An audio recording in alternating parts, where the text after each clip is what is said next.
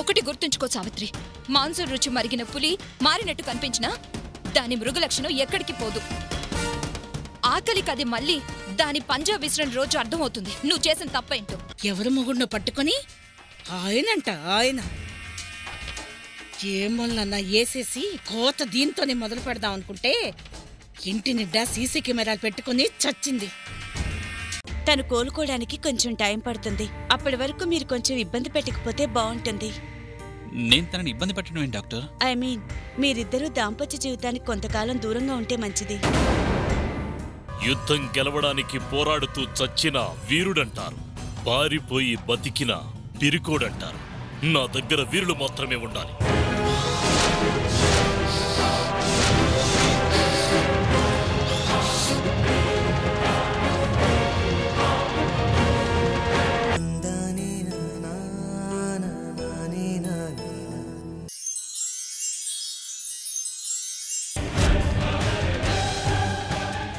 వద్దయ్యా నన్నేం చేయొద్దు. మీరు చెప్పినట్టే చేస్తాను.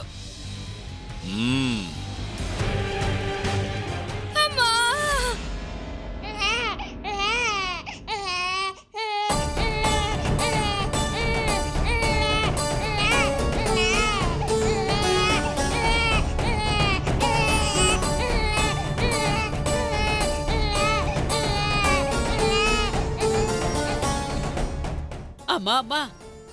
మళ్ళీ పాప పుట్టింది.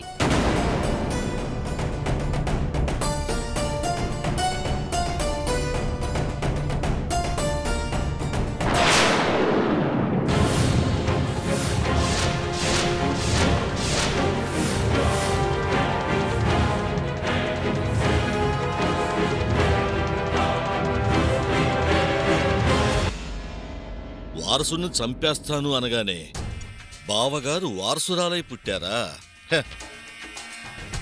కవలలు. కవల పిల్లలు కలిసి పుట్టారు కదా కలిపే చంపేశాయి. వెళ్ళో. దొరా దొరా దొరా. జమీందార్ గారికి బిడ్డ పుట్టిందని తెలిసి ఊరి జనమందరూ వస్తున్నారు. ఓ అభిమానం కదిలొస్తుందా? బిడ్డ పుట్టిందని తెలుసు గాని ఏ బిడ్డో తెలియదుగా? ఆస్తికి అడ్డం వచ్చేది వీడేగా? వీడిని లేపే. ఆడపిల్లని అడ్డం పెట్టుకొని మిగిలిన కథ నేను నడిపిస్తాను. వెళ్ళా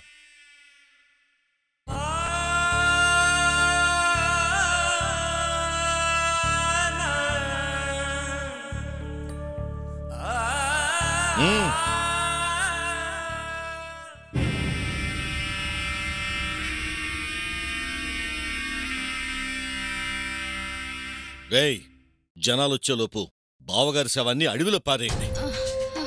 చంపిన పాపానికి జంతువులకు ఆహారం వేసామన్న పుణ్యమన్న దక్కుతుంది.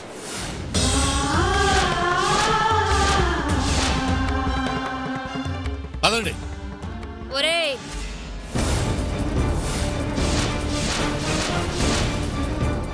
నీచుడా! నా తమ్ముడు అన్న ఒకే ఒక్క కారణానికి ఆదరించి అన్నం పెట్టిన నా దేవుడి ప్రాణాలు తీసావా? అది నేను చెప్పేది వినుకున్న బావుగారే. ఛీ మాట్లాడకు. మొదట్నుంచి నీ ప్రేమ నా మీదో ఆయన మీదో కాదు. ఈ ఆస్తి మీదని నాకు తెలుసురా. అయినా నిన్ను భరించి తప్పు చేశాను. చేసిన తప్పుకి నా దేవుడి ప్రాణాలు తీసుకున్నావు కదరా. ఆస్తి కోసం అక్క నుదుటి బొట్టును కూడా చెరపటానికి సిద్ధపడినా నీలాంటి వాణ్ణి క్షమించకూడదు. ఊరి జనంతో చెప్పి రాళ్ళతో కొట్టి చంపిస్తాను. అక్క వద్దక్క వద్దక్క.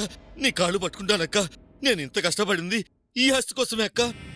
ఈ ఆస్తితో మనం దర్జాగా బతకొచ్చక్క. నీకు దండం పెడతానక్క. నా మాట విని జరిగింది ఎవరికి చెప్పొద్దక్క. ఆయన లేని ఆస్తి నాకెందుకురా?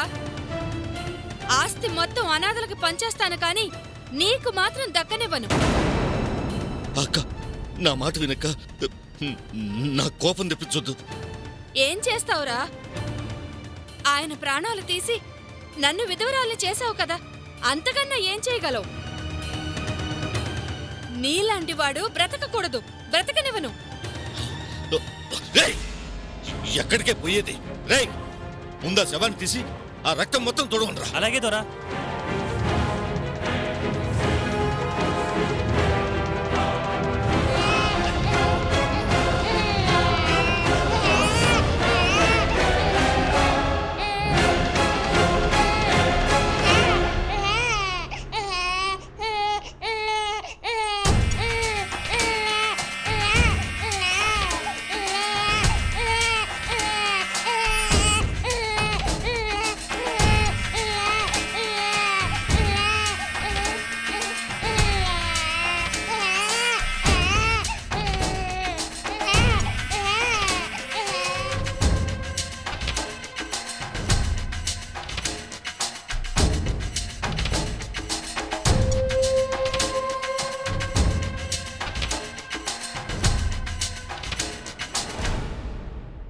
మీ అందరికీ ఒక దుర్వార్త. అడవిలో వేటకు వెళ్ళిన జమీందారు గారు ఈ చిట్టి తల్లిని ప్రసవిస్తూ మా అక్కగారు ప్రాణాలు పోగొట్టుకున్నారు.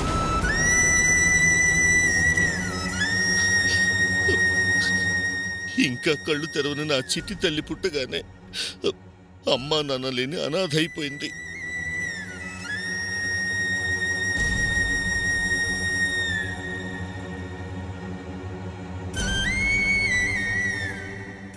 కానీ కానీ నేనుండగా నా బంగారం అనాథ కాదు. అమ్మా నాన్న లేని లోటు తెలియకుండా ఈ బంగారు తల్లిని నేను పెంచుకుంటాను. నేనే పెంచుకుంటాను.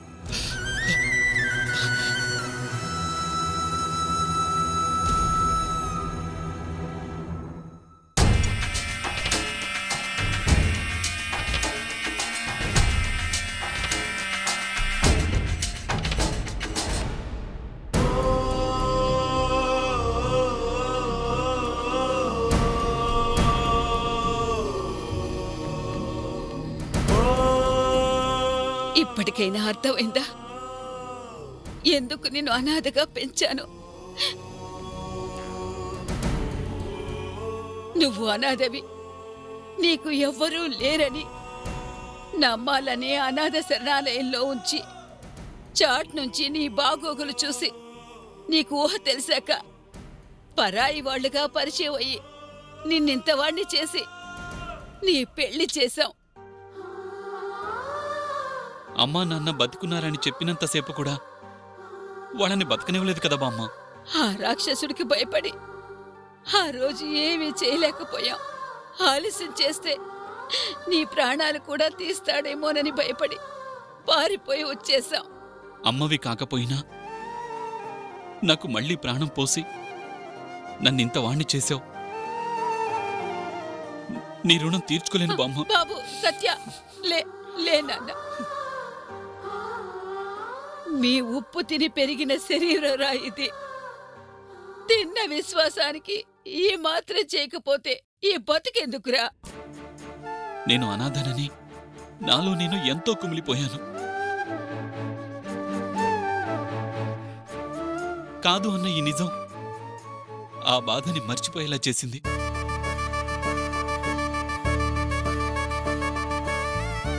అమ్మా నాన్నని కాపాడుకునే అవకాశం నాకెలాగూ లేదు.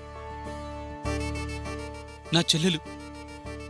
నా రక్తం పంచుకు పుట్టిన రక్తం బతికే ఉందిగా? అచ్చాలు నా చెల్లెల్ని వాళ్ళ నుంచి కాపాడి తీసుకొచ్చుకుంటాను. ఏ లోటు లేకుండా చూసుకుంటాను. ఎందుకే? ఎందుకే ఈ నిజాన్ని ఇంతకాలం నీతో చెప్పంది? నీ మేనమామ గురించి నీకు తెలీదు. నువ్వు బతికే ఉన్నావని తెలిస్తే ఎప్పుడు కూడా నిన్ను బ్రతకనివ్వడు. వాడికి భయపడి నా చెల్లెల్ని అలా వదిలేయమంటావా? వదిలేకపోతే వాడు నిన్ను వదలడురా. నా మాట వినరా. అమ్మని నాన్నని చంపినవాడు బతికే ఉన్నాడని తెలిసి నా కుటుంబంలో నాకంటూ మిగిలిన నా చెల్లెలు వాడి దగ్గర ఉందని తెలిసి ఎలా వదిలేయమంటావు బామ్మ? వాడి ప్రాణాలు తీసి నా తల్లిదండ్రుల ఆత్మకు శాంతి కలిగించి నా చెల్లెల్ని తీసుకొచ్చుకుంటాను. ఆగరా. అంటే అవసరం తీరిపోయిందా? నీకో చెల్లెలుందనగానే ప్రాణం కాపాడి ఇంత వాణ్ణి చేసిన ఈ బామ్మ మాట లెక్క లేకుండా పోయిందా? సరే వెళ్ళు. నువ్వు బతుకున్నావని తెలిస్తే అందుకు కారణం నేను అని తెలుస్తుంది. అది తెలిసిన మరుక్షణం. నీ మేనమామ ముందు తీసేది నా ప్రాణాలేరా.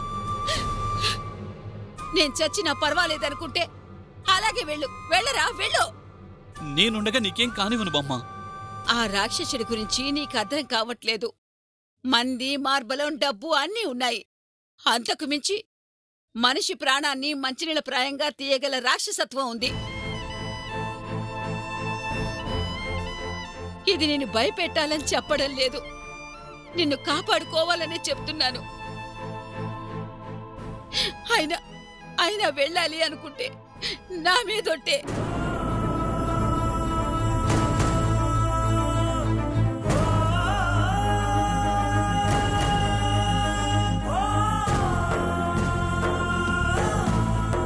చావుకి దగ్గర పడిన ఈ ముసల్దాని మాటదేముంది నా చెల్లెలే ముఖ్యం అనుకుంటే నీ ఇష్టంరా వెళ్ళు. వెళ్ళరా?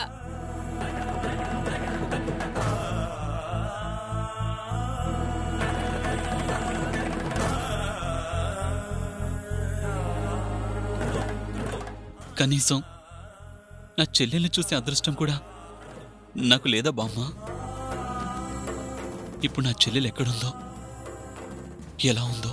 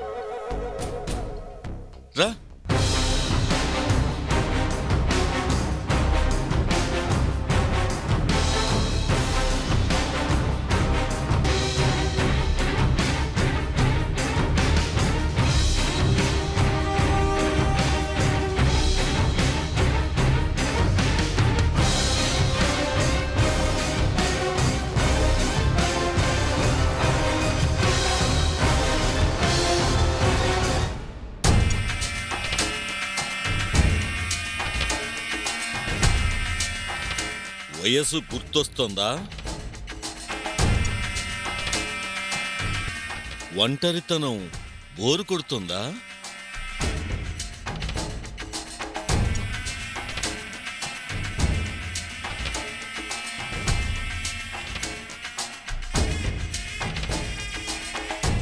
నేలను చూడాల్సిన చూపులు దారిన పోయే కుర్రాళ్ళను చూస్తున్నాయి. అంటే భయం తగ్గిందనేగా?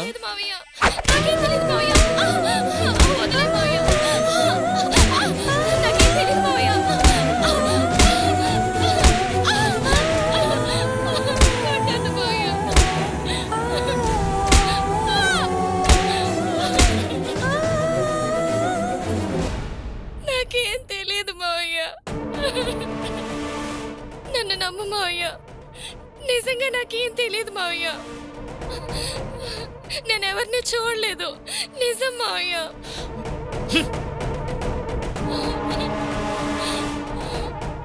మరొకసారి నీ కళ్ళు ఎవరినైనా చూస్తే ఈసారి వాడి కళ్ళు కాదు నీ కళ్ళు పీకేస్తా. నిజంగా నేను చూడలేదు మావయ్య. తనే చూశాడు. నర్మై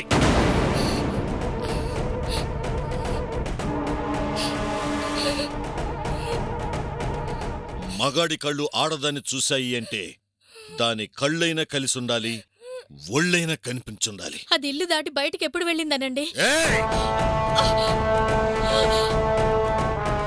ముందు నిన్ను తన్నాలే. ఇది మన ఆస్తి. దీని చూపు మారినా మనసు మారినా ఈ రోజు మనం అనుభవించే ఇవేవి మనకుండవు.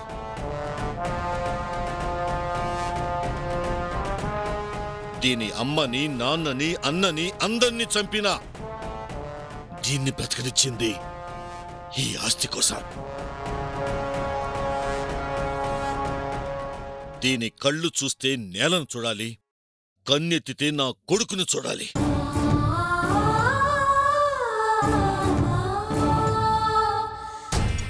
అందరి ముందు దీన్ని అపురూపంగా చూసుకునేది ఈ ఆస్తి కోసమే. నా కొడుకుతో పెళ్ళి చేస్తే ఈ ఆస్తి మొత్తం అధికారికంగా మనదే అవుతుంది.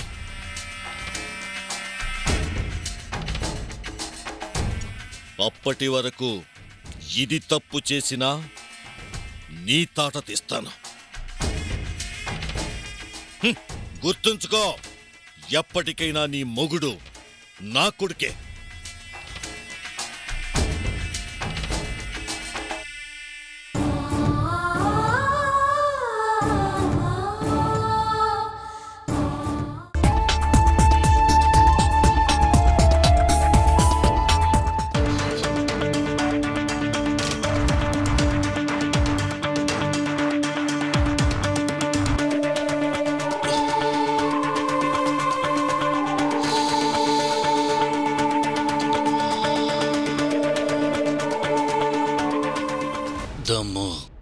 దిగగానే ఒంట్లో వేడి మొదలవుతుంది. ఆ వేడికి లేడీ తోడు కావాలనిపిస్తుంది. ఏదిరా లేడీ.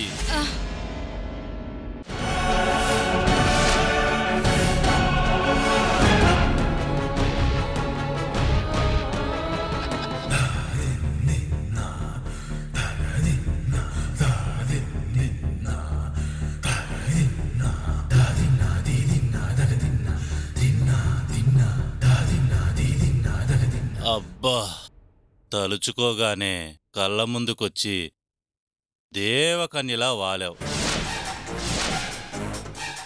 ఎన్నా సుగుమానం?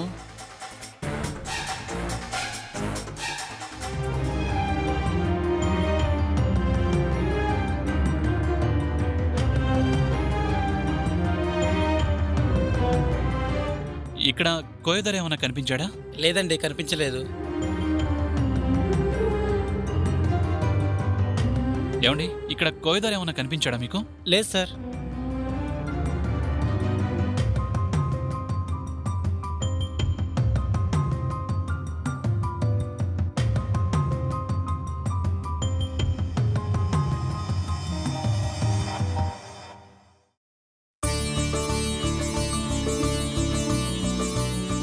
కురో కురు దొరముఖం దీపమలే ఎలిగిపోతోంది.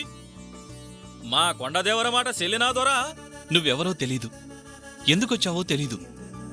నాకు తెలియని నా గతం నేను తెలుసుకునేలా చేశావు. సంతోషమేగా దొరా? చెప్పలేనంత సంతోషం. అనాథని అనాథని అనే కొన్నేళ్ళ నరకం నుంచి విముక్తి కలిగింది. నువ్వన్నట్టే నాకు కుటుంబం ఉంది. అమ్మ నాన్న చెల్లెలు అందరూ అందరూ ఉన్నారు. నా కుటుంబాన్ని అభిమానించే ఒక ఊరే ఉంది. ఆ దేవుడే పంపించినట్టొచ్చావు. నీ రుణం తీర్చుకోలేను కోయదరా. నాదేముండాది దొరా? ఆ దేవరిచ్చే పలుకులు నాలుగు చెప్పుకుని బతుకుతుంటాను. నీ మాట నిజమైతే పట్టుబట్టలు పెట్టి అడిగింది ఇవ్వాలన్నావుగా? అడుగు. ఏం కావాలన్నా అడుగు. నువ్వు అడిగేదేదైనా నా ఆనందం కన్నా ఖరీదైంది కాదు. అడుక్కోయిదరా అడుగు. అడిగేదేముంది దొరా? ఆ దేవర మాట చెల్లింది. నీకు ఆనందమైంది ఆ ఆనందంతో నీకు తోసింది ఈ దొర? లేదు నువ్వే అడగాలి. మారాజు బిడ్డవి నీ చేతికి ఎమ్ముకుండదు ఏమిచ్చినా ఈ కోయదొరకు కొండంత సంబరమే.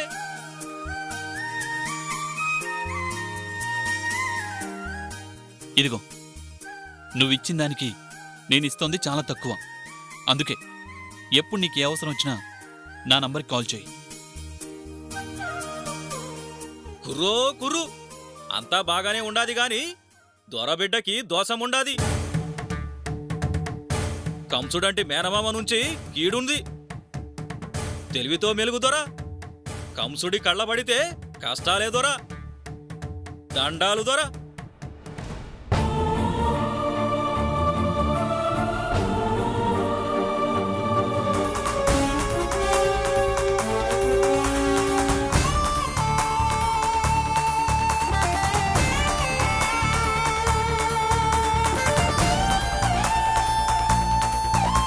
అయ్యా.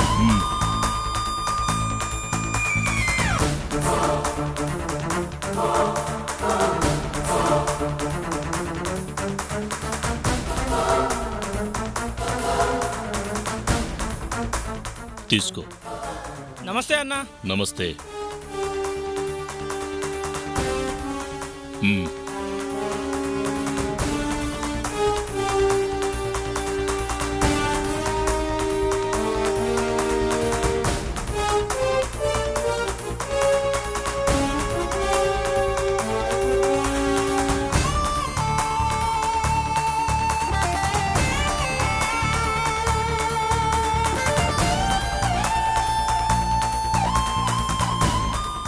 నమస్కారం అయ్యా.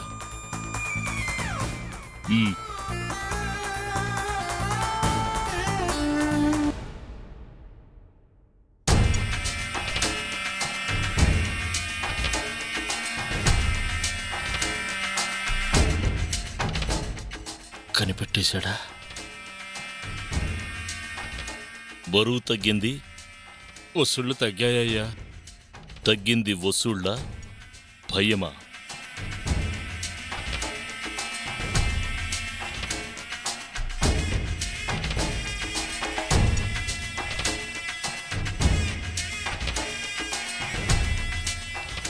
జనం నాకు భయపడి ఇచ్చింది. నీ పెళ్ళ ఒంటి మీద నగలవుతుంటే వసూళ్ళెందుకు తగ్గవురా? అయ్యా తప్పైపోయింది. మన్నించండి అయ్యా.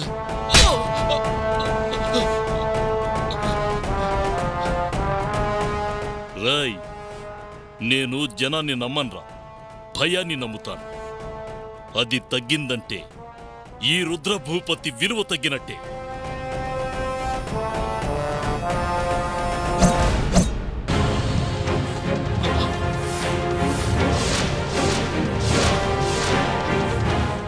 వద్దయ్యా.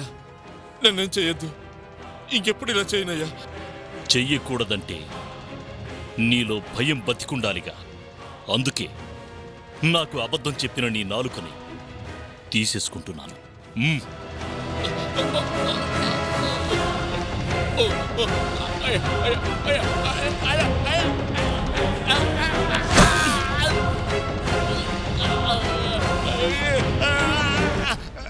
రాయ్. నేనంటే భయం. నేనున్నంత వరకు ఆ భయం అలాగే బతికుండాలి. తగ్గితే ఎవడైనా సరే వాడి గతి ఇంతే.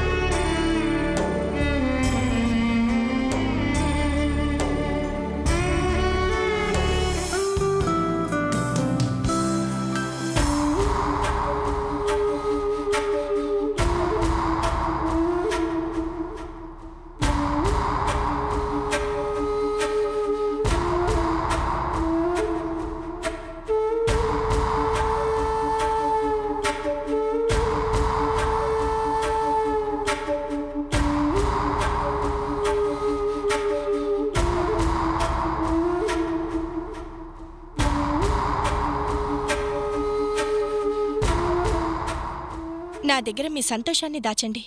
పర్వాలేదు. మీ బాధని మాత్రం దాచొద్దు.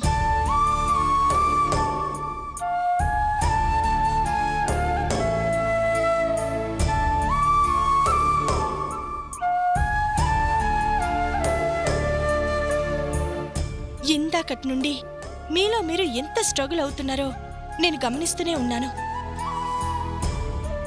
అదేం లేదు. చూశాను అన్న తర్వాత కూడా లేదని అబద్ధం చెప్తారే?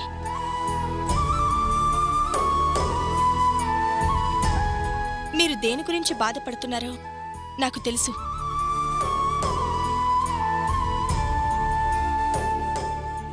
సావిత్రి హెల్త్ గురించేగా? ఎవరో డాక్టర్ ఏదో చెప్పిందని మీరు ఆ మాటలే పట్టుకుని ఇలా బాధపడితే ఎలా? ఇలాంటి విషయాల్లో మనం సెకండ్ ఒపీనియన్ కూడా తీసుకోవాలి. ఈసారి ఎవరైనా స్పెషలిస్ట్కి చూపిద్దాం.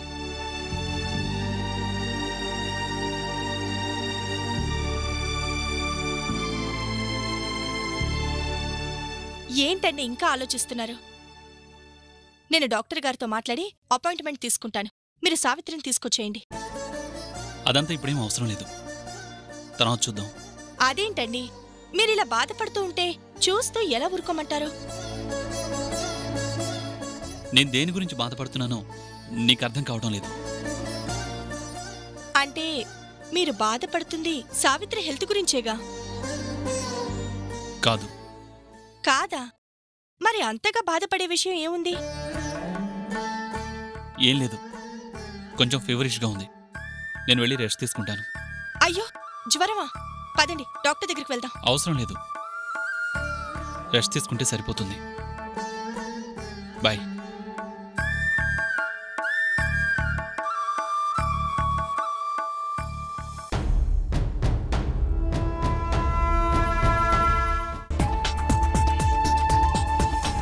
కామాక్షి?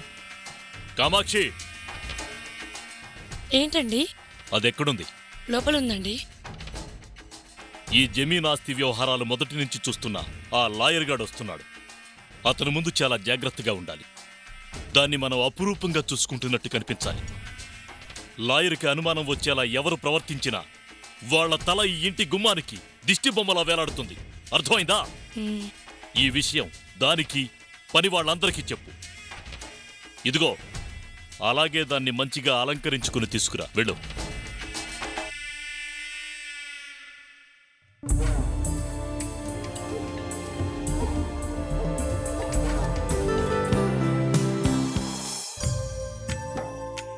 తాగమ్మా. ఆ పాలు ఆరోగ్యానికి చాలా మంచిది. తాగు తాగమ్మా. అది నా బంగారు తల్లి.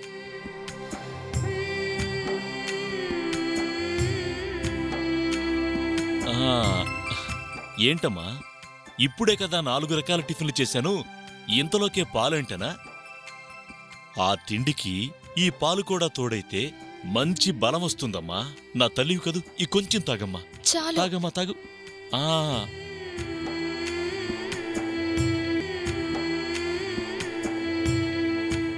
అయ్యో లాయర్ గారు మీరా? రండి రండి. ఎంతసేపు అయింది లాయర్ గారు మీరొచ్చి? మీ మేనకోడల్ని పసిపిల్లలు చేసి పాలు తాగిస్తున్నప్పుడే వచ్చాను. ఈ ఇంటి మహాలక్ష్మి నా కోడలే కదండి. చిన్నప్పటి నుంచి ఈ గుండెల మీద పెట్టుకొని పెంచాను. అందుకే ఇప్పటికీ నాకు దీన్ని చూస్తుంటే నాకు చిన్నపిల్లలాగే అనిపిస్తుంది. మీలాంటి మేనమామ ఉండటం అమ్మాయి అదృష్టం. ఏమ్మా బాగున్నావా?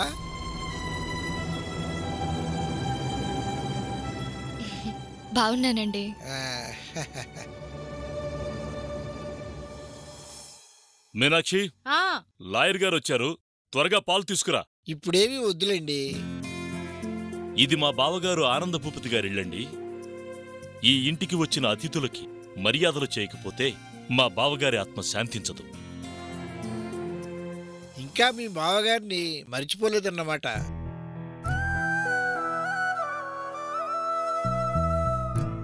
దేవుణ్ణెవరైనా మర్చిపోతారా లాయర్ గారు? అమ్మా తాగు. నమస్కారం లాయర్ గారు. నమస్కారం అమ్మా. బాగున్నారా? బాగున్నానమ్మా. ఇంకొంచెం తాగమ్మా. ఇంకా చాలు మావయ్య. తాగమ్మా కొంచెం. నా బంగారు తల్లి కదూ? ఆ, ఆ, అమ్మాయి గారిని పువ్వుల్లో పెట్టి చూసుకుంటున్నారు. అలా చూసుకోవటమేనా? ఇంకేమైనా ఆలోచన ఉందా? ఆలోచించడానికి ఇంకేముంటుందండి? అమ్మాయి సంతోషం గురించి తప్ప. అంటే అది అమ్మాయి గారికి మైనారిటీ తీరు కూడా చాలా కాలమైంది. మరి పెళ్ళి గురించి ఏమీ ఆలోచించటం లేదా? వద్దు లాయర్ గారు. నా కోడలకి కావలసినంత ఆస్తుంది. పువ్వుల్లో పెట్టి చూసుకోవడానికి మేమున్నాం. తనని అలా ఆడుతూ పాడుతూ ఆనందంగా ఇక్కడే ఉండనివ్వండి. అదేంటండి? ఆడపిల్లన్న తర్వాత ఏదో ఒక రోజు పెళ్ళి చేయాల్సిందే కదా. పెళ్ళి చేయడానికి మీకు అభ్యంతరం ఏమిటి? నాకు అభ్యంతరం ఏముంటుందండి పెళ్ళి చేసుకొని తన భర్తతో తను హాయిగా ఉంటే అంతకన్నా నాకు కావలసిందే ఉంటుంది.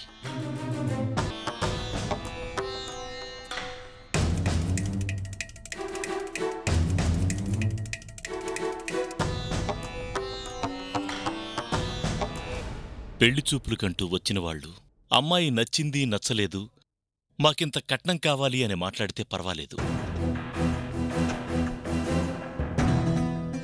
కాని కాని వాళ్ళు నా బంగారు తల్లిని పట్టుకుని నష్టజాతకురాలని పుట్టగానే తల్లిని తండ్రిని పొట్టన పెట్టుకుందని. అలాంటిది తమ ఇంటి కోడలుగా వస్తే తమ కుటుంబం ఏమైపోతుందో అంటున్నారండి. కాలం చెల్లి వాళ్ళు పోతే పసిబిడ్డ ఇదేం చేస్తుందండి? ఆ మాటలు వినలేకే పెళ్ళి చేయదలుచుకోలేదు.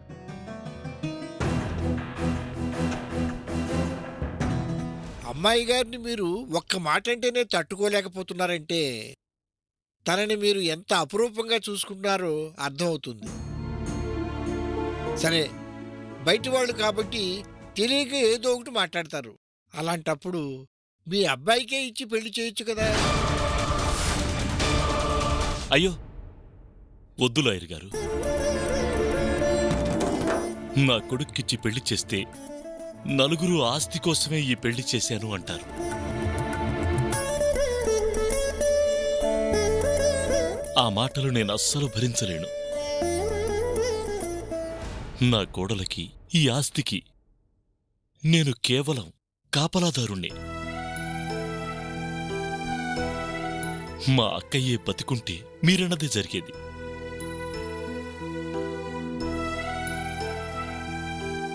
కానీ ఈరోజు నేను ఆ పని చేస్తే స్వార్థపరుణవుతాను అది నాకిష్టం లేదు లాయర్ గారు. అమ్మాయి గారిని బయట వాళ్ళు ఎవరు చేసుకున్నా ఖచ్చితంగా అది ఆస్తి కోసమే. కానీ మేనమామగా అమ్మాయి గారిని మీ కోడల్ని చేసుకోవటం మీ హక్కు. నా మాట విని మీ అబ్బాయికిచ్చి పెళ్ళి చేయండి. లాయర్ గారు తొందరపడకండి. ఇప్పటికే ఆలస్యం చేశారండి. అమ్మాయి గారు మీ ఇంటి కోడలైతే ఖచ్చితంగా సుఖపడుతుంది. ఆలోచించకుండా మంచి ముహూర్తం చూసి పెళ్ళి చేసేయండి.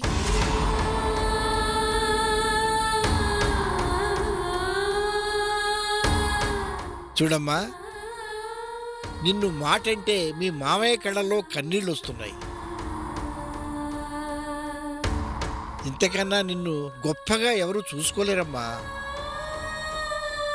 మీ మామయ్య గారి అబ్బాయిని పెళ్ళి చేసుకో. సుఖపడతావు. వస్తానమ్మా. ఉంటానండి. మంచిదండి. నమస్తే.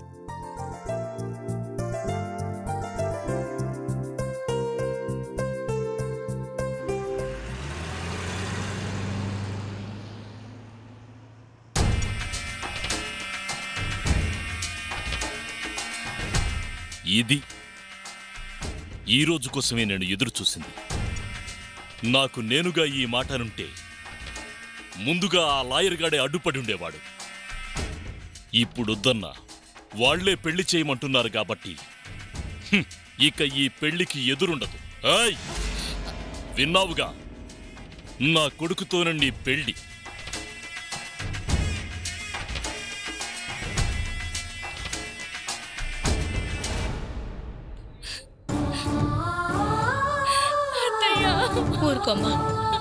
తల్లి ఏడవకమ్మా ఊరుకో ఊరుకో తల్లి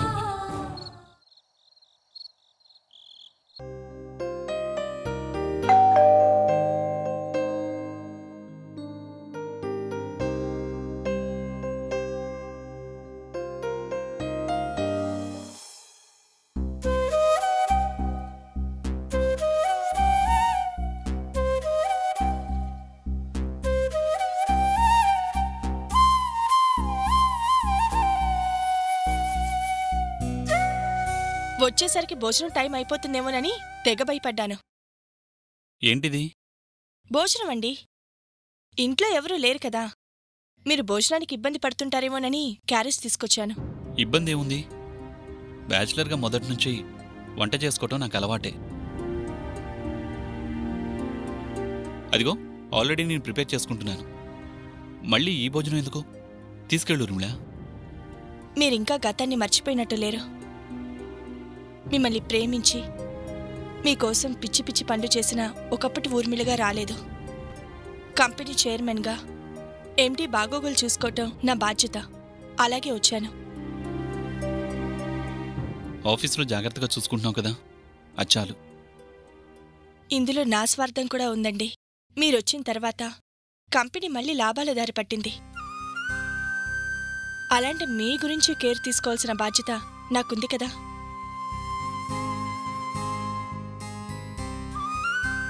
క్యారేజీలు తీసుకురావటం మాత్రం బాధ్యత కాదు. ప్లీజ్ నాకు ఇబ్బందిగా ఉంటుంది. తీసుకెళ్ళిపో. చైర్మన్గా నీ అభిమానం ఆఫీస్ వరకు ఉంటే చాలు. కేవలం మీరు నా ఆఫీస్ స్టాఫ్ మాత్రమే అనుకునుంటే అంతవరకే ఉండేదాన్ని. మొదటి నుంచి మనం మంచి స్నేహితులం. నేను చేసిన తప్పుల వల్ల ఒక మంచి మనిషికి దూరం అయ్యాను. నా ఆఫీస్లో జాయిన్ కావటానికి ఇష్టపడకపోయినా ఆఫీస్లో జాయిన్ అవ్వడానికి సావిత్రి సాయం చేసింది కాబట్టి తన ఊర్లో లేని ఈ టైంలో మీకు ఏ లోటు రాకుండా చూసుకొని తన రుణం ఇలా అయినా తీర్చుకోవాలని అనుకుంటున్నాను. నేను మారానని మీకు అర్థమయ్యేలా చేయటానికే ఈ తపనంతా. మీరు బోన్ చేస్తే నా మార్పుని అర్థం చేసుకున్నారన్న చిన్న ఆనందం నాకు కలుగుతుంది. దయచేసి ఆ చిన్న ఆనందానికి కూడా నన్ను దూరం చేయకండి.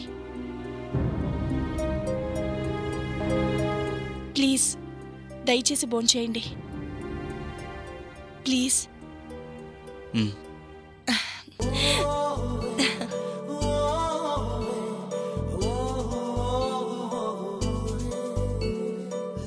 ప్లేట్ తీసుకొస్తాను.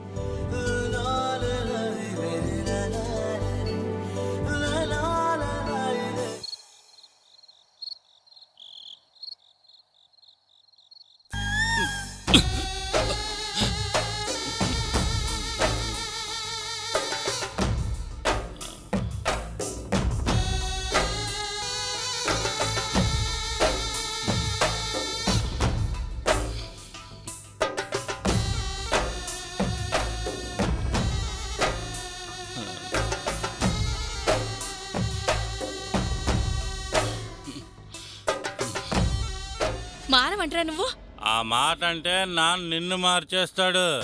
తల్లితో మాట్లాడడం కూడా చేతకాని నిన్ను కన్నాను చూడు. నా కర్మకి నన్ను అనుకోవాలి. వచ్చి తిని తగలడు. బట్టలు మార్చుకొని వస్తాను. వెళ్ళి రెడీ చేసి పెట్టు.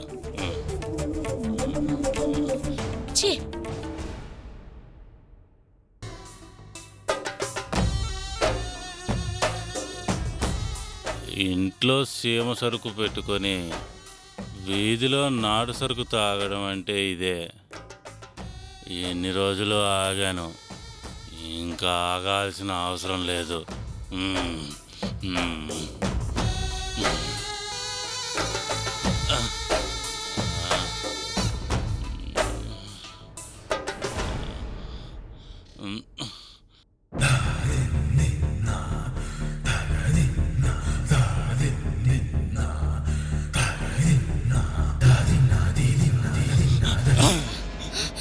బావా నా గదిలో ఏం చేస్తున్నావు?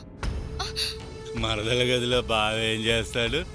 అదే చేస్తున్నారు రావే. వదలు! రోజు పొద్దున్నే చూడడం మందేసి రోజంతా బాధపడటం. అందుకే ఈరోజు నీతో శోభనం చేసుకుందామని ఫిక్స్ అయ్యా. రావే! వదలు బావా తాగి నా గదిలోకి రావడమే తప్పు. మర్యాదగా బయటకెళ్ళు. ఏంటి? మర్యాద గురించి మాట్లాడుతున్నావు ఏంటి? ఏ రోజుకైనా నీ మొగుడు నేనే. ఇంతకాలం ఆ ముసలాయర్ గాడు ఎక్కడ పెళ్ళికి అడ్డుపడతాడా అని బారులో బాధపడ్డాను కానీ నీ గదిలోకి రాలేదు. ఇప్పుడు ఆ లాయరే గ్రీన్ సిగ్నల్ ఇచ్చాడు. ఇక పెళ్ళి కన్ఫామ్. పెళ్ళి తర్వాత శోభనం అందరూ చేసుకుంటారు. పెళ్ళికి ముందు శోభనం మనం చేసుకుందాం. రావే!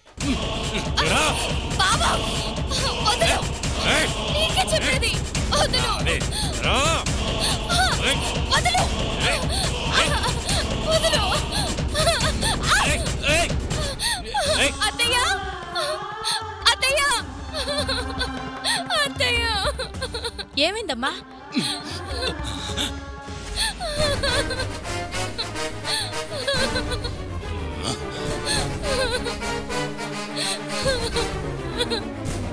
నీకు ఇక్కడే పని? వెళ్ళి పడుకోపా. ఏంట్రా వెళ్ళేది? తల్లివి అలాంటి ప్రశ్నలు అడగకూడదు. పోయి పడుకోపా. ఏ నువ్వు రావే. నువ్వు మీ నాన్న నేను మనందరం బతికేది దీని తిండి తినేరా? దీన్ని జీవితం పాడు చేయాలని చూస్తున్నావా? అది నా పిల్లం నా ఇష్టం. మధ్యలో నువ్వేంటి? నువ్వు రావే. ఏంట్రా వచ్చేది! నిన్ను? ఏంట్రా నువ్వు చేస్తున్న పని? నిన్ను.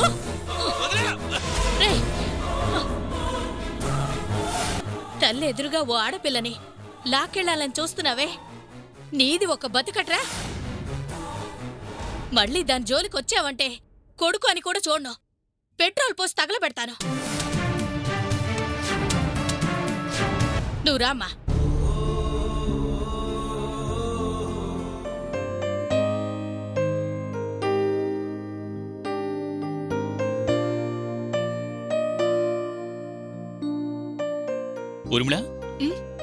ఈ పనులన్నీ నీకెందుకు? నేను సర్దుకుంటానుగా? నాకు బాస్ పోయి ఉండి ఇలా క్యారేజ్ తీసుకురావడమే ఎక్కువ.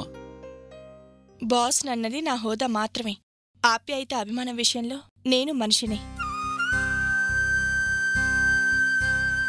నేను కోరుకుంది నాకే దక్కాలి అన్న ఆహంతో నేను చేసిన పనుల వల్ల ఇన్ని రోజులు నువ్వు జైలు శిక్ష అనుభవించావు బయటకొచ్చాకైనా సుఖంగా ఉన్నావా అంటే అదీ లేదు. చేసిన తప్పులు తెలుసుకొని నిన్ను జైలు నుంచి విడుదల చేయించగాని ముందు మీ ఇద్దరిని హనీమూన్ పంపించాలనుకున్నాను.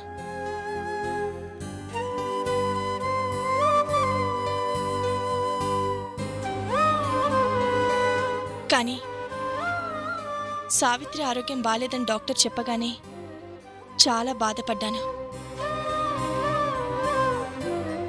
మానసికంగా శారీరకంగా మీ ప్రతి కష్టానికి కారణం నేను.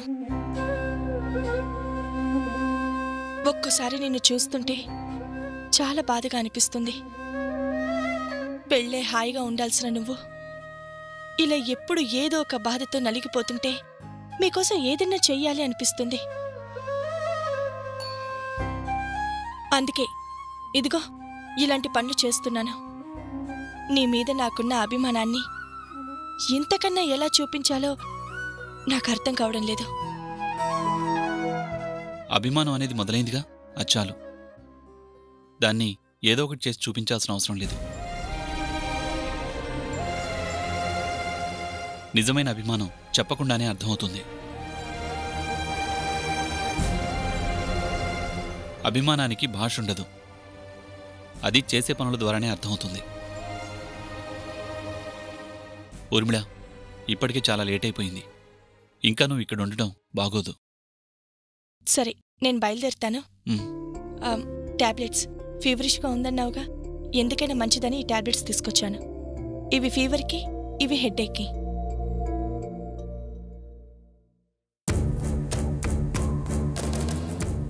ఈ రోజు నీ బెడ్రూమ్లో నుంచి నన్ను బయటికి పంపించిన రేపు నా బెడ్రూమ్లోకి నువ్వే వస్తావు సత్య. మనం కలిసి కాపురం చేసే రోజు దగ్గరలోనే ఉంది. ఓకే. వెళ్ళొస్తాను సత్య.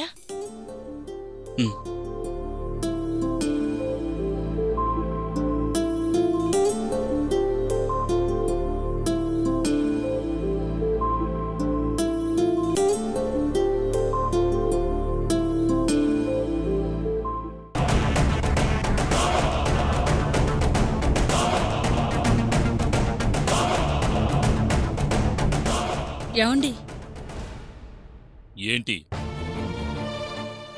రాను రాను వాడి చేష్టలకి అదుపు లేకుండా పోతోంది.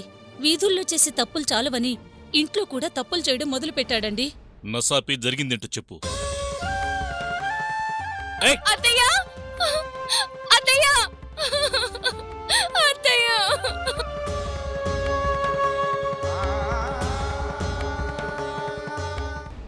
అంటే వాణ్ణి కొట్టావా? తప్పు చేస్తే కొట్టరా? చంపేస్తాను.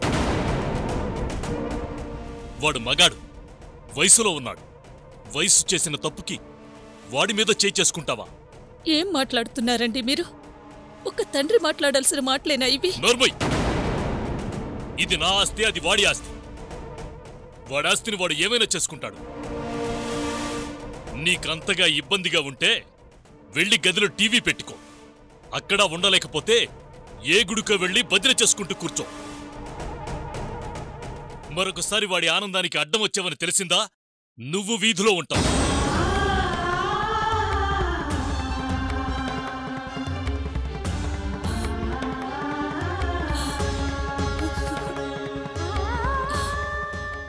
ఒక ఆడపిల్ల జీవితం పాడు చేయటం ఆనందమా? తల్లిగా అది తప్పు అని చెప్పటం నేరమా? భగవంతుడా ఎందుకయ్యా? ఒక రాక్షసుడికి భార్యం చేసి మరో రాక్షసుడికి తల్లించేశావు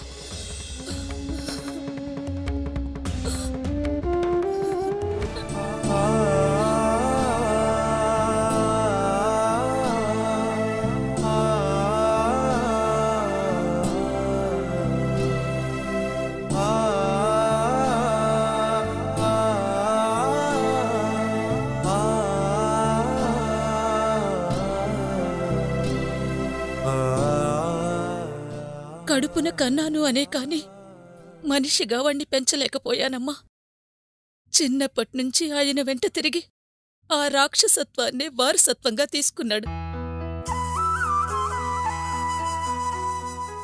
వాడి తరపున నిన్ను నేను క్షమాపణ అడుగుతున్నాను. నా కొడుకు నీతో అలా ప్రవర్తించినందుకు క్షమించమ్మా. గాలికి తిరగవలసిన మనిషికి మీ నాన్నగారు ఆశ్రయమిచ్చి ఆయన సంస్థానంలో మంచి స్థానం ఇచ్చినందుకు ఉప్పు తిన్న విశ్వాసం మీ మామయ్య అలా చూపిస్తే నా కొడుకు ఎలా చూపించాడు?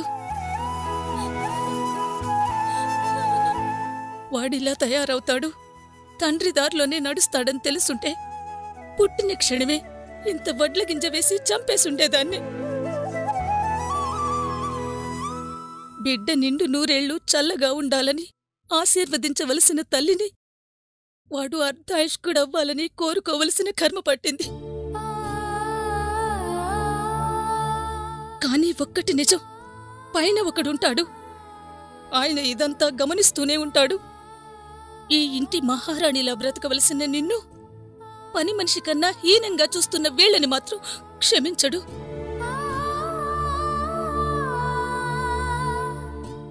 ఏదో ఒకరోజు తగిన శాస్తి చేస్తాడు.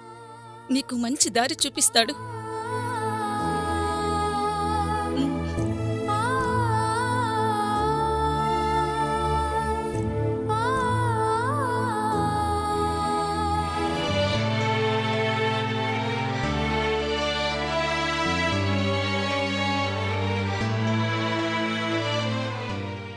నేను పుట్టిన ఊరు.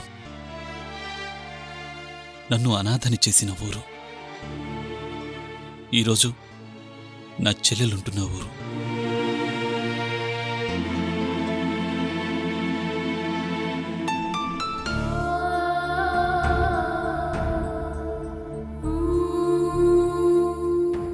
నా శత్రువు ఉంటున్న ఊరది. ఎక్స్క్యూజ్ మీ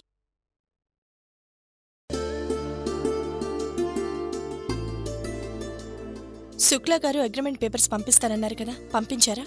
ఆ, మార్నింగ్ వాళ్ళ మనిషి వచ్చి ఇచ్చెళ్ళాడు.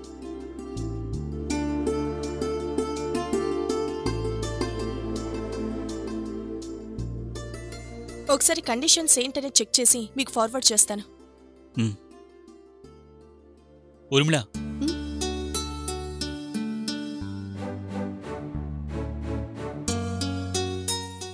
కేరళలో నీకు తెలిసిన వాళ్ళు ఎవరైనా ఉన్నారా? కేరళలోనా? ఉమ్, నాకు తెలిసిన వాళ్ళు ఎవరూ లేరు కానీ ఆ అన్నయ్య ఫ్రెండ్ బీజు అని ఒక అతను ఉన్నాడు.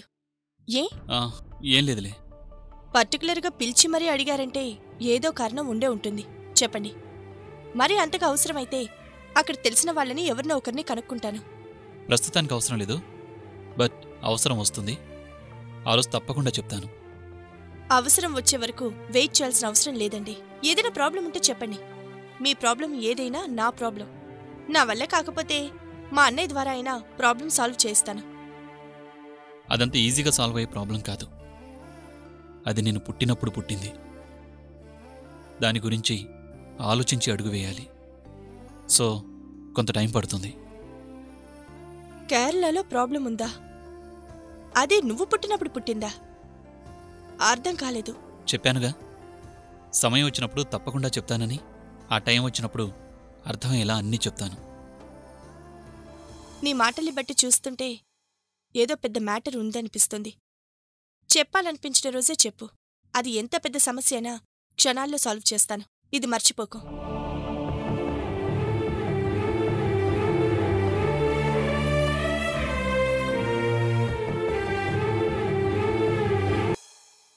ఏమండి? టిఫిన్ చేద్దురుగాని రండి. పద. నమస్కారం అయ్యా రండి రండి పంతులు గారు. ఉన్నపలంగా రమ్మని కబురు చేశారు? విశేషం లేకుండా కబురు చేయను కదండి. ముందు మీరు ప్రశాంతంగా కూర్చోండి. అలాగే. కామాక్షి అబ్బాయిది కోడలిది జాతకాలు తీసుకురా. అలాగేనండి.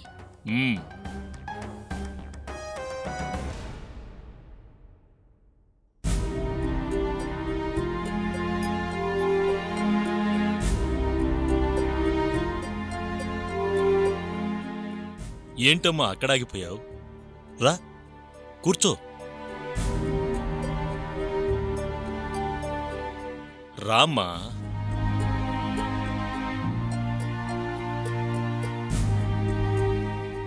కూర్చో.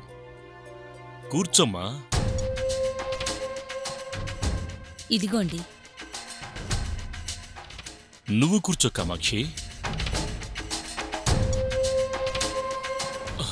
పంతులు గారు. అయ్యా! పెద్దవాళ్ళు నలుగురు చెప్పిన మాట కాదనలేక మా అబ్బాయికి నా మేనగోడలకి పెళ్ళి చేయాలనుకుంటున్నాను. శుభం. మంచి వార్త చెప్పారు.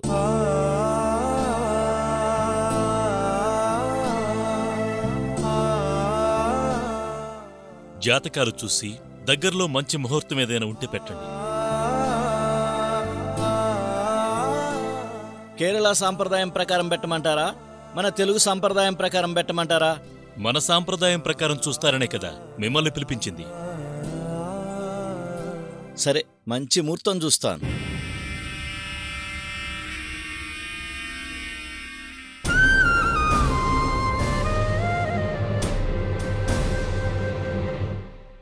అయ్యా ఈ ఇరువురు జాతకాలు కలవట్లేదండి.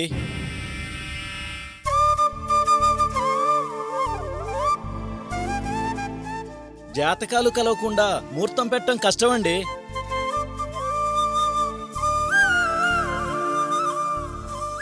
మరి అలాంటప్పుడు ఏం చేస్తారు? మరీ తప్పదనుకుంటే పెట్టుడు ముహూర్తం పెట్టుకుంటాం.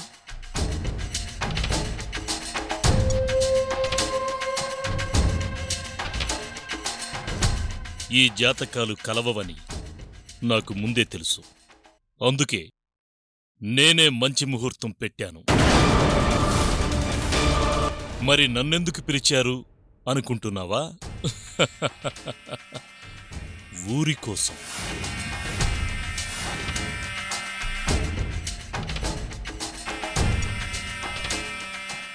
ఇదిగోండి. ఈ ముహూర్తం మీరే పెట్టారు. ఈ లగ్న పత్రిక మీరే రాశారు. ఈ మాట మీదే మీరు ఉండాలి. ఊరు జనానికి ముహూర్తం మీరే పెట్టినట్లు నమ్మించాలి. నేను అబద్ధాలు చెప్పలేనండి. చెప్పాలి. నీకోసం కాదు నీ కుటుంబం కోసం.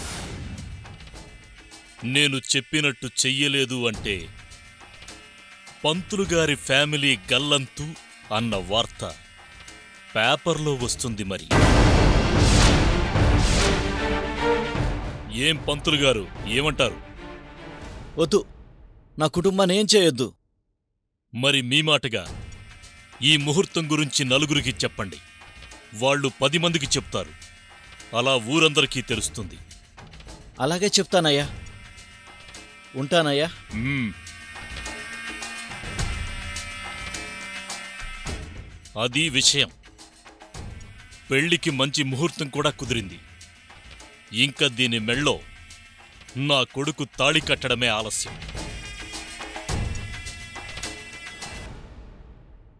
సావిత్రి? సావిత్రి? అమ్మా సావిత్రి?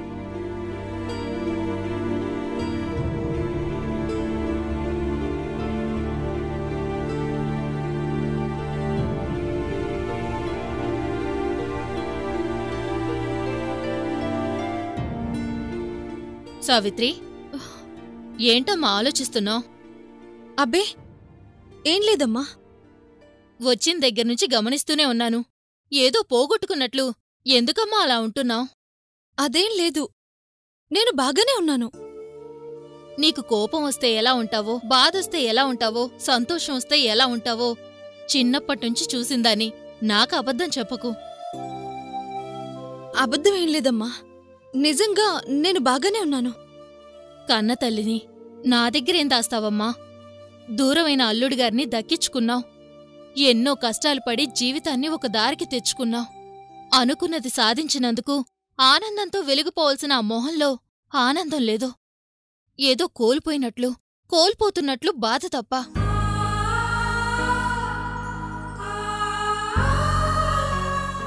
చెప్పమ్మా ఏమైంది?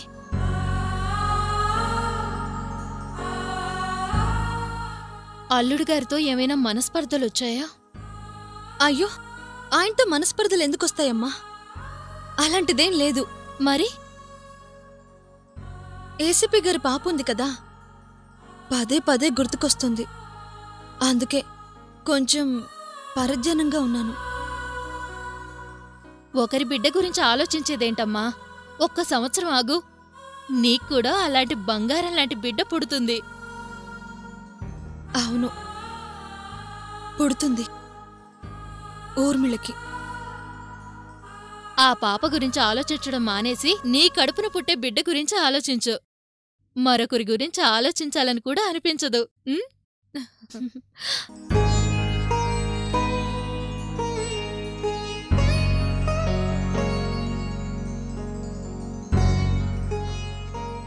ఆ అదృష్టం నాకు లేదమ్మా. భర్త ఉండి విధవగా బ్రతకాలి. తల్లయ్యే అవకాశం ఉండి గొడ్రాలిగా బ్రతకాలి. ఈ జన్మ ఇంతే. నా జీవితం ఇలా తెల్లారిపోవాల్సిందే.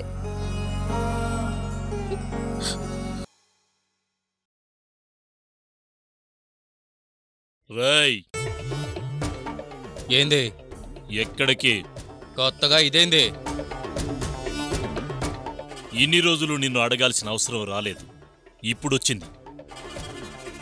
అవునరా. త్వరలో దీనితో నీ పెళ్ళి అనుకుంటున్నాం. కాబట్టి నువ్వింతకు ముందులా ఇష్టానికి తిరగడం తగ్గించాలి. పెళ్ళంటే తాళి కడితే సరిపోతుంది కదా. ఎప్పటి నుండి నా ఇష్టాలు తగ్గించుకోవడం దేనికి? తాళి కడితే చాలనుకునుంటే ఎప్పుడో నీ పెళ్ళి చేసేవాణ్ణి. ఆ మాట లాయర్గాడి నోటి వెంట రావాలని ఇన్ని రోజులు ఓపిక పట్టింది. ఇప్పుడు వాడే నీ కొడుక్కిచ్చి పెళ్ళి చెయ్యి అన్న తరువాత నువ్వు ఎప్పట్లా జలసాలు చేస్తూ కనిపించేవరకు ఎవరో ఒకరు అడ్డుపడతారు. అడ్డుపడితే అడ్డంగా నరికేస్తాను? నరకడం నీకన్నా నాకే బాగా తెలుసురా. ఇన్ని రోజులు ఇది నష్టజాతకురాలని అందర్నీ నమ్మించి ఎవ్వరూ దీన్ని పెళ్ళి చేసుకోకుండా చేశాం. అలా చేశాం కాబట్టి ఇప్పుడు నీ పెళ్ళికి గ్రీన్ సిగ్నల్ పడింది. కొద్ది రోజులు మన జాగ్రత్తలో మనం ఉండాలిరా. అందుకే కాస్త తిరగడం తగ్గించు.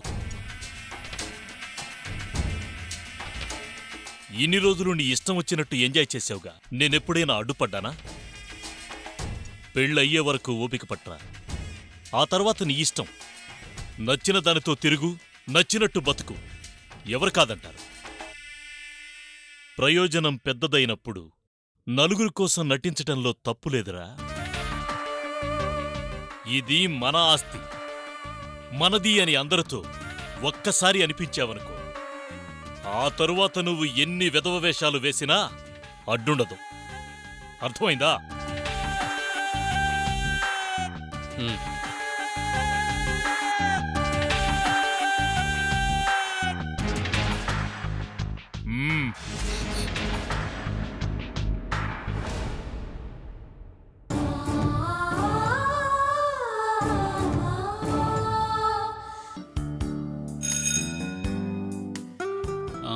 మేడం గారు భోంచేశారా?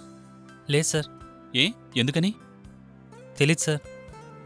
సరే నువ్వు వెళ్ళు. Okay sir.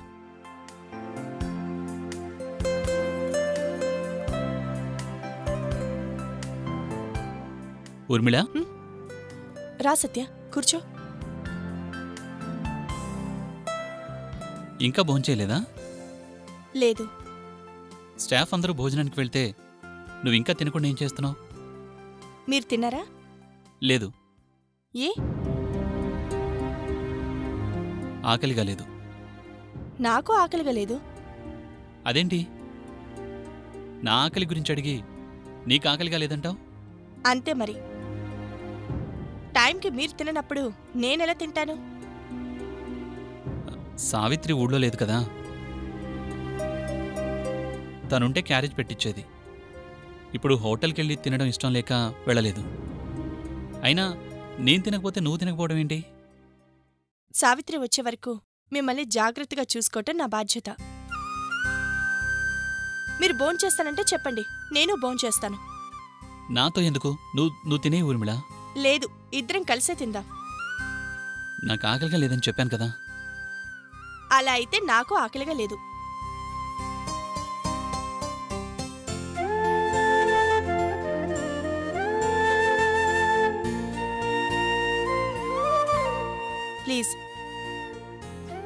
ఇద్దరం కలిసి తిందాం. నా క్యారేజ్ ఉంది మన ఇద్దరికి సరిపోతుంది. అది కాదు ఊర్మిళ. తింటే ఇద్దరం కలిసి తిందాం లేదంటే లేదు. మీతో పాటు నన్ను పస్తుంచాలనుకుంటే తినకండి.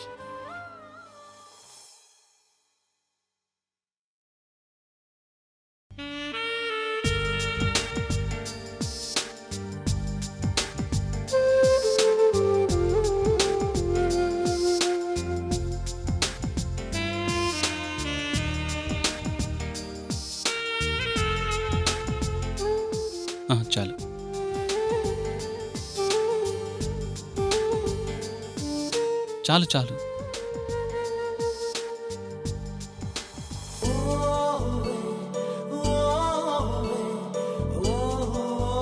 నువ్వు కూడా తిను ఊర్మిళ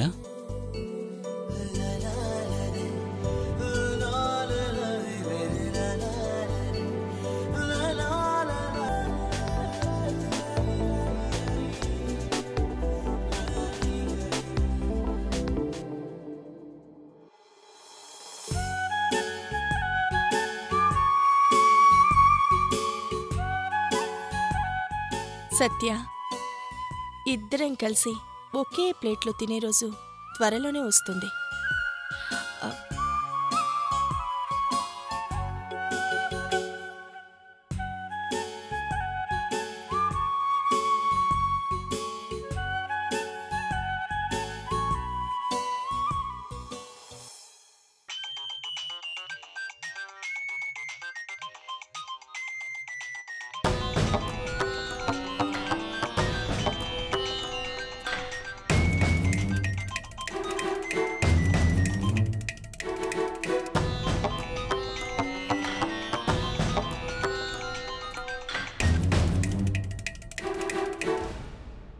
సావిత్రి ఎలా ఉంది ఘంటసాల? పాత ఊరికి కొత్తగా అలవాటు పడుతున్నావా? నీ ఫ్యూచర్ అదే కదా.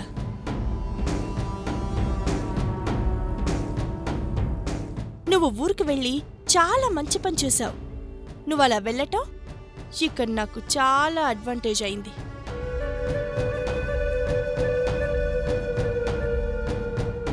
సత్యకి దగ్గర కావటానికి నాకు చాలా మంచి అవకాశం ఇచ్చావు. కొద్ది కొద్దిగా కొసరి కొసరు వడ్డించే అంత దగ్గరయ్యాను. రెండు రోజులు నువ్వు ఊర్లో లేకపోతేనే నా లైఫ్లో ప్రతి క్షణం చాలా అందంగా కనిపిస్తుంది. సత్యకి దగ్గరగా ఆనందంగా గడిచిపోతుంది.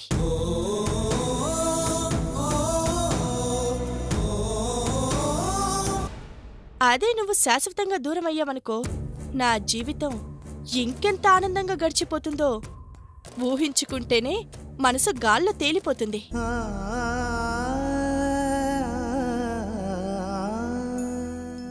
సావిత్రి నువ్వు ఇప్పుడప్పుడే హైదరాబాద్ వచ్చే ప్లాన్స్ ఏం పెట్టుకోకు. ఇంకొద్ది రోజులు అక్కడే ఉండు. రేపు సత్యకి దూరం అయ్యాక ఎక్కడుండాలి ఎలా ఉండాలి అనేది ప్లాన్ చేసుకో.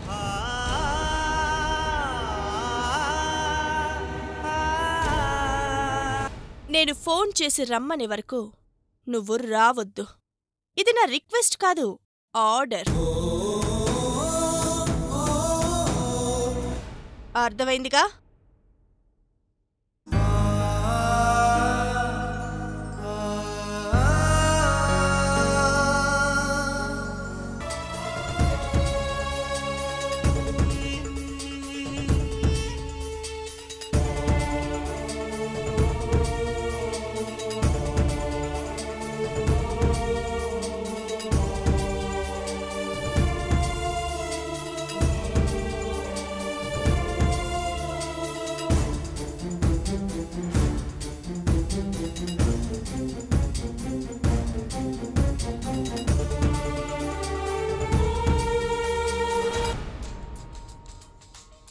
హలో? లాయర్ గారు నేను. నేనంటే ఎవరమ్మా? పేరుండదా? వెన్నెల్లి మాట్లాడుతున్నాను. అమ్మాయి గారు తమరా? ఏంటమ్మా? నాకు ఫోన్ చేశారు. మీతో ఒక ముఖ్యమైన విషయం మాట్లాడాలి. చెప్పండమ్మా. ఫోన్లో కాదు నేరుగా రండి. సరేనమ్మా. ఇప్పుడే బయలుదేరుతున్నాను. వద్దు వద్దు. ఇప్పుడు ఇంట్లో అందరూ ఉన్నారు. సాయంత్రం నాలుగు గంటలకైతే ఎవరు ఉండరు. మీరు అప్పుడు రండి. అలాగేనమ్మా. తప్పకుండా రండి మర్చిపోకుండా. చాలా ముఖ్యమైన విషయం. మర్చిపోకుండా రండి.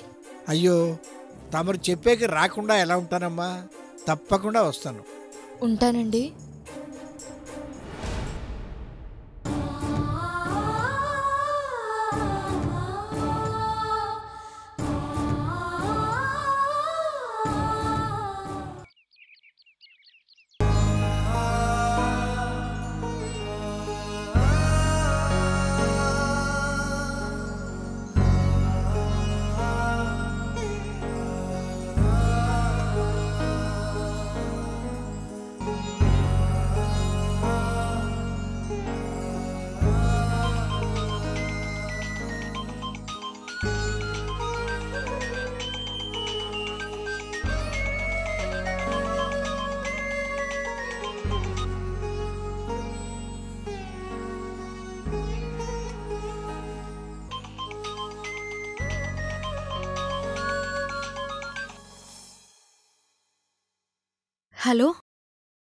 ఏంటి సావిత్రి?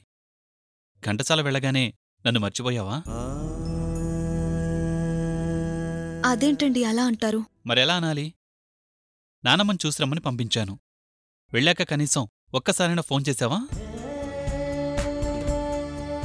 ఎలా ఉన్నానో ఏంటో అని ఆలోచించావా? ఏ? నేనింక జైల్లోనే ఉన్నాననుకున్నావా?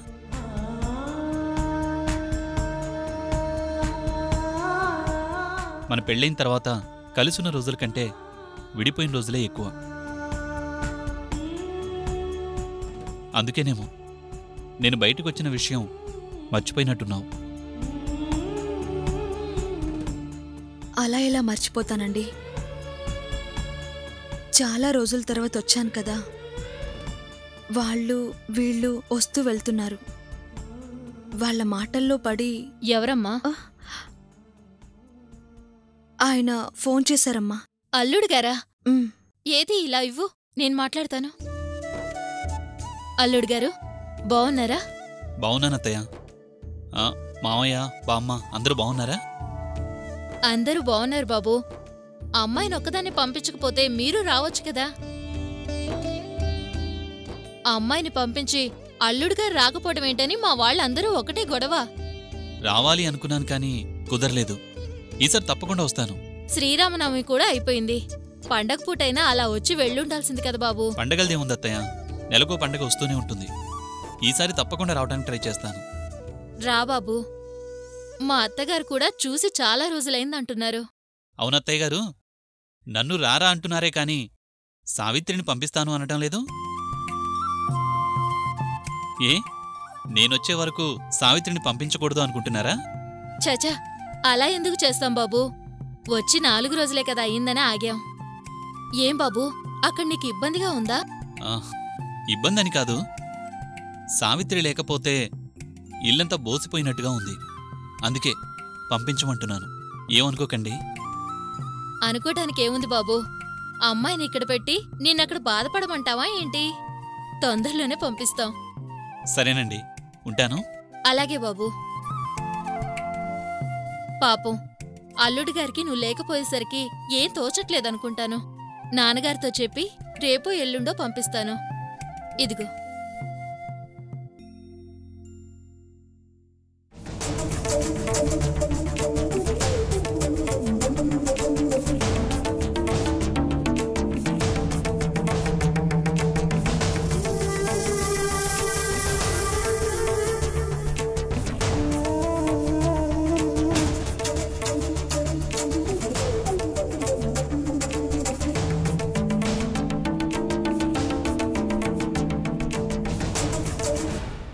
నమస్కారం అమ్మా. నమస్కారం అండి. ఏంటమ్మా? అర్జెంటుగా రమ్మని ఫోన్ చేశారు. ఏంటి విషయం?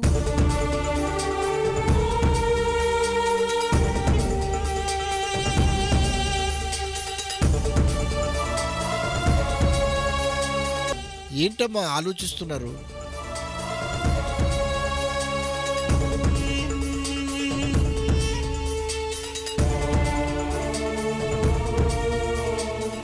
నేను మీ కుటుంబానికి బాగా కావలసిన వ్యక్తిని.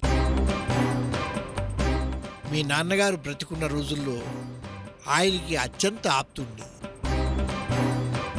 ఎలాంటి విషయమైనా నాతో చెప్పడానికి తమను సందేహించాల్సిన అవసరం లేదు.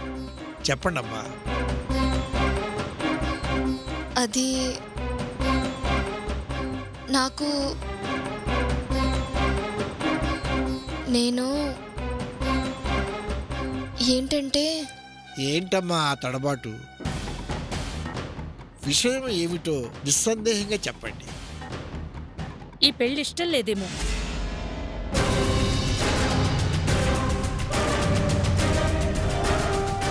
ఇష్టం లేకపోవటం ఏమిటమ్మా? వాళ్ళిద్దరికీ పెళ్ళి చేయాలని మనం మనం నిర్ణయించాం. తన నిర్ణయం ఏమిటో తెలుసుకోలేదుగా?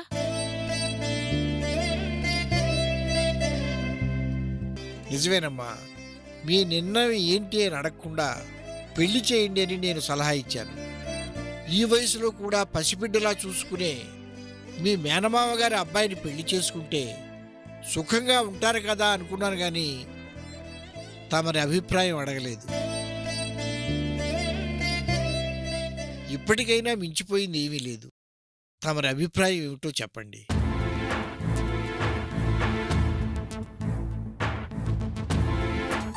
చెప్పండి అమ్మాయి గారు. ఈ పెళ్ళి నాకిష్టమే.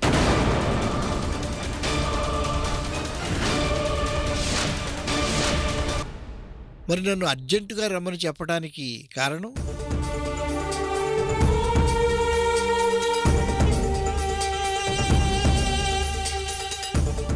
నన్ను ఎంతో ప్రేమగా చూసుకునే మావయ్య గారికి నేను ఎదురు చెప్పలేను.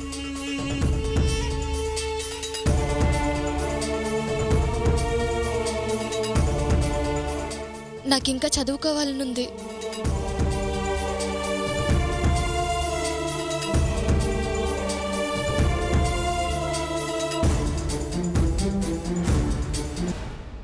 ఇంత చిన్న విషయానికి రమ్మన్నారా?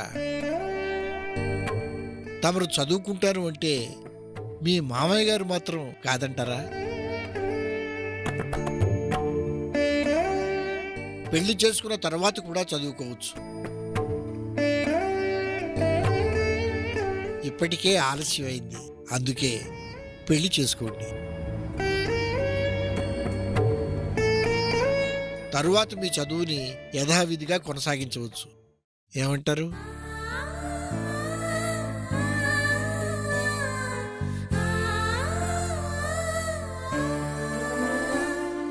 అలాగేనండి. చదువు గురించి మీ మామయ్య గారిని మీరు అడగటానికి సంకోచిస్తున్నారు. కాబట్టి ఆ విషయం నేను మాట్లాడతాను. మరి నన్ను వెళ్ళి రమ్మంటారా? అలాగేనండి. ఇక వెళ్ళొస్తానమ్మా. వస్తానమ్మా. నమస్కారం.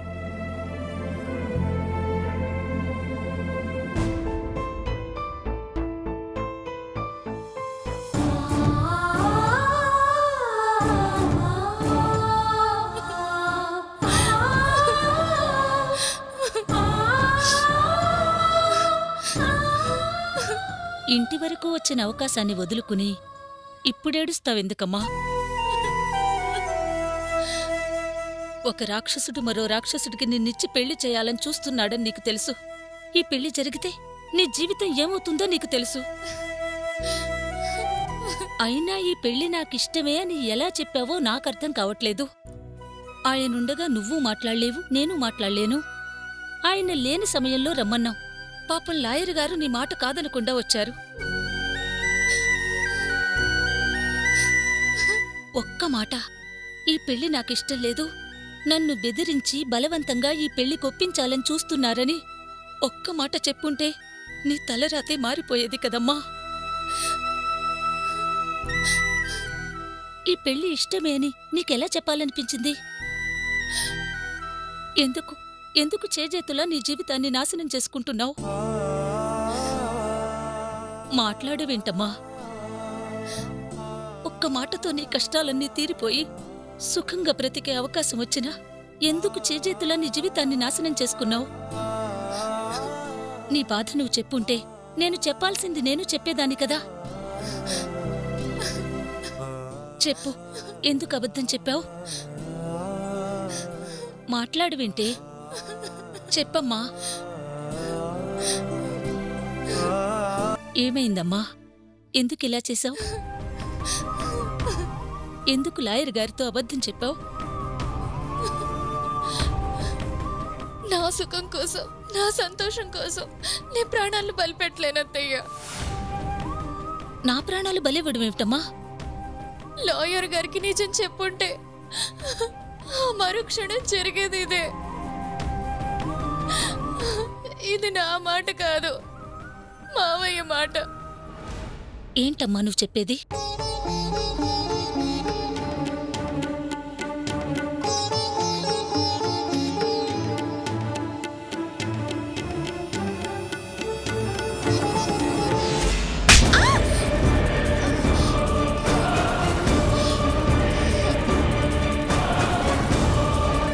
ఏంటి? ఆ? నా గురించి ఆ లాయర్కి చెప్పేద్దామనా?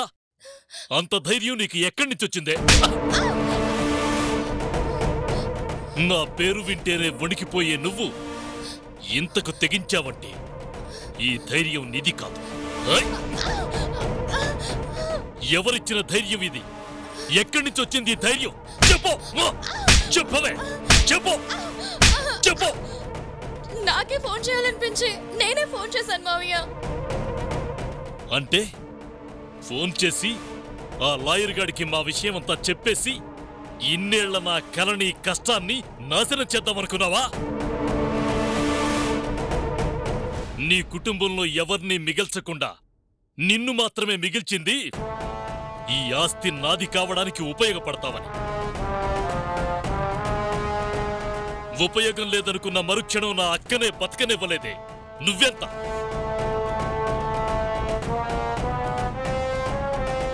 ఒక్కసారిగా నీలో ఇంత తెగింపొచ్చిందంటే ఖచ్చితంగా దీని వెనక ఎవరో ఉండుండాలి.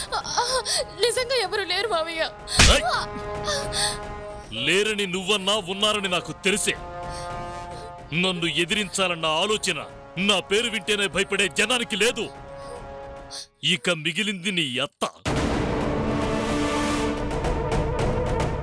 అదే నీకు ధైర్యాన్నిచ్చుంటుంది. మొదట్నుంచి ఈ ఇంట్లో నన్ను కాదని నీకు సపోర్ట్ చేసేది అదే. దాని మాటలు విని నా గురించి ఆ లాయర్ గాడి దగ్గర ఏదైనా వాగావంటే నీకీ ధైర్యాన్నిచ్చిన నీ అత్త శవమవుతుంది. ఫోన్ చేసావుగా ఆ లాయర్ గాడొస్తాడు. నీ అత్త చచ్చినా పర్వాలేదనుకుంటే అంతా చెప్పేయ్ నీ నోటి వెంట నిజమొచ్చిన మరుక్షణం నీ అత్త శవమవుతుంది.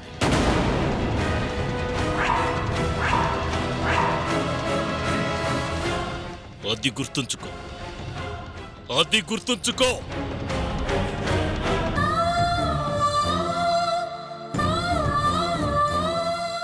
ఈ రోజు కొత్తగా చచ్చేదేముందమ్మా ప్రతిరోజు చస్తూ బ్రతుకుతూనే ఉన్నాను.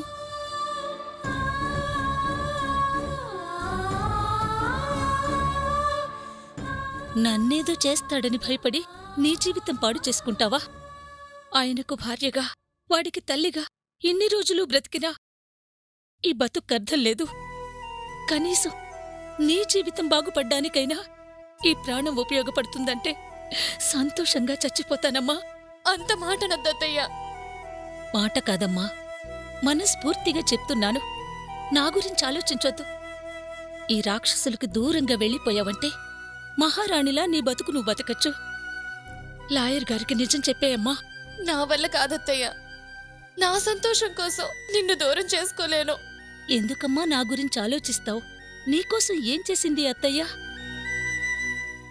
నువ్వు ఏడుస్తుంటే నీతో పాటు ఏడవటానికి తప్ప ఎందుకు పనికిరాని నా గురించి ఇంత ఆలోచిస్తున్నావేంటమ్మా? పుట్టి బుద్ధి తెలిసిన తర్వాత మా అమ్మ ఎలా ఉంటుందో నాకు తెలియదు. నాకు తెలిసి మా అమ్మ అంటే నువ్వే.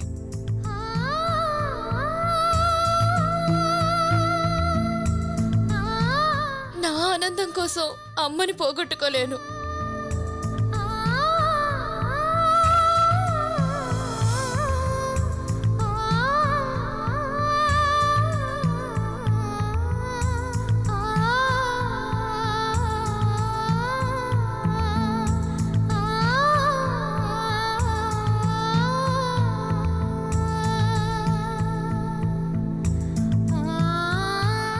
కడుపున పుట్టినవాడు కూడా ఈ రోజు వరకు నన్ను అమ్మగా ఏనాడు చూడలేదు.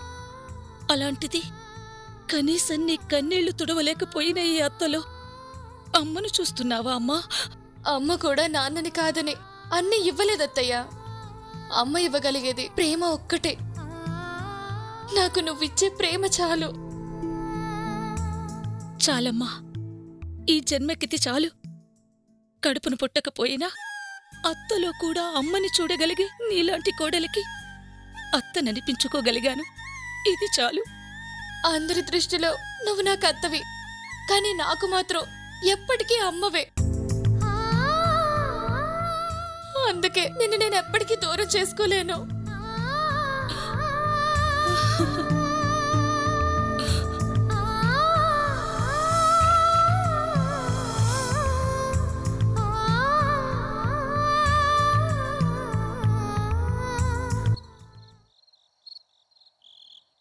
జానకి? జానకి? ఏంటండి? రేపు అమ్మాయిని హైదరాబాద్ పంపించడానికి టికెట్ అదేంట్రా? అప్పుడే పంపిస్తావా? నాలుగు రోజులు ఉంచుకుంటే నష్టమేముంది? నష్టం మనకేం ఉండదమ్మా. అల్లుడు గారు అక్కడ ప్రతిదానికి ఒంటరిగా ఇబ్బంది పడరు. ఓహో మనవడు బాధపడుతున్నాడనా? మరి బాధపడ్డా? సర్లేండి. మన వల్ల అల్లుడు గారు బాధపడ్డం ఎందుకు గాని టికెట్ అయితే తెచ్చారు. ఆ అమ్మాయిని పంపించొచ్చో లేదో పూజారి గారిని ఒక మాట అడుగుండాల్సింది. అది కూడా అయింది. రేపు ఉదయం తొమ్మిది గంటల వరకు అమ్మాయిని గడప దాటనివ్వద్దు అన్నారు. అందుకే పది గంటల బస్కి బుక్ చేశాను. రామ్మ సావిత్రి నీ గురించే మాట్లాడుకుంటున్నాం. రేపు ఉదయం పది గంటలకి నీ హైదరాబాద్ ప్రయాణం.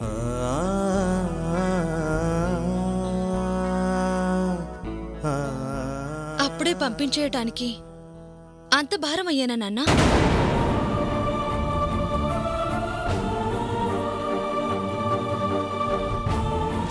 అదేంటమ్మా అలా అన్నావు? మరి రాక రాక ఇంటికొస్తే అప్పుడే పంపించాలి అనుకుంటున్నారు.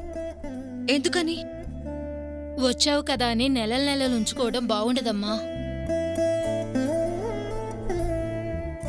అక్కడ అల్లుడు గారు ఒంటరిగా బాధపడుతుంటారు కదమ్మా. టౌన్లో తిండికి వాటికి అన్నిటికీ ఇబ్బందే కదా? ఆయనకేం ఇబ్బంది ఉండదు. ఆయన ఇబ్బంది పడతారనుకుని మీరు నన్ను ఇబ్బంది పెడుతున్నారు. ఇందులో ఇబ్బందే ఉందే? నీ భర్త దగ్గరికి నిన్ను పంపించడం తప్ప? అల్లుడు గారిని వదిలి ఉండాలంటే అస్సలు ఒప్పుకునేదానివి కాదు. కొత్తగా ఇలా మాట్లాడుతున్నావేంటే? ఎప్పుడూ భర్తనే కాదు. అప్పుడప్పుడు అమ్మా నాన్నల్ని కూడా చూడాలనిపిస్తుంది. చూసావుగా? ఇక చేసేదే ఉంది పరాయిళ్ళలో నాలుగు రోజులు ఉండడమే మర్యాదే. నేనేమి పరా ఇంట్లో లేను. ఆడపిల్ల మెళ్ళో తాలి పడిన వెంటనే పుట్టిల్లు పరాయిల్లవుతుందే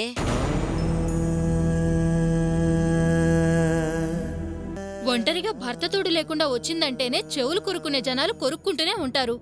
అలాంటిది ఇక్కడే ఉంటున్నావంటే రకరకాలుగా మాట్లాడుకుంటారు.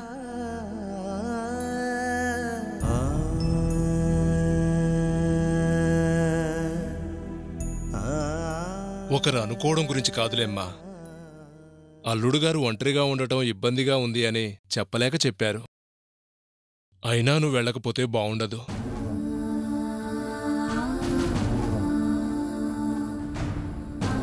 ఇప్పుడేమవుతుంది? రేపు వెళ్ళి పది రోజుల తర్వాత అల్లుడు గారిని కూడా తీసుకురా. అప్పుడు నెల రోజులుండు. ఎవరు కాదంటారు? అంతగా కుదరకపోతే పది రోజులాగి నేనే వచ్చి మీ ఇద్దరిని తీసుకొస్తాను. సరేనా?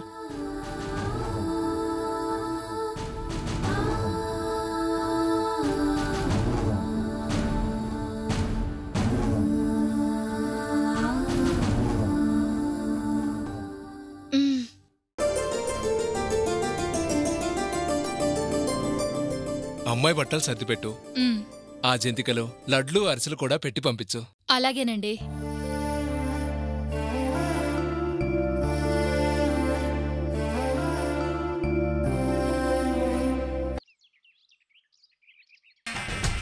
రేయ్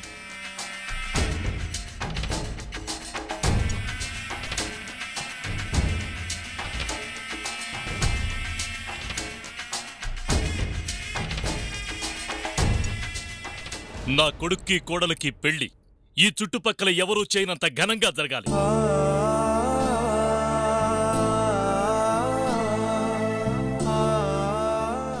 ఈ పెళ్ళి గురించి ఈ ఊరికే కాదు.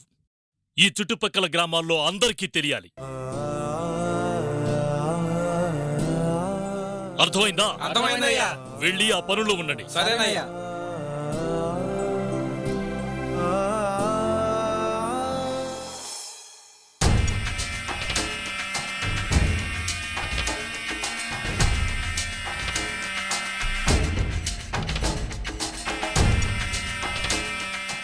ఇంతకీ వీడెక్కడే? ఏంటన్నా రేయ్ పెళ్ళి కొడుకువి. ఇంకా ఇలాగే ఉన్నావేంట్రా? వెళ్ళి పెళ్ళికి రెడీ అవు దీని మెడలో తాళి కట్టడానికి కూడా సూటు బూటు వేసుకోవాలా? దీనికి మొగుడిని అనిపించుకోవడానికి నేను ఇలా ఉంటే చాలదా? రేయ్ ఇప్పుడు మనం ఏం చేసినా అది జనం కోసం. ఇన్ని రోజులు మనం ఏ నాటకం ఆడినా అది ఈ నాలుగు గోడల మధ్యనే జరిగింది.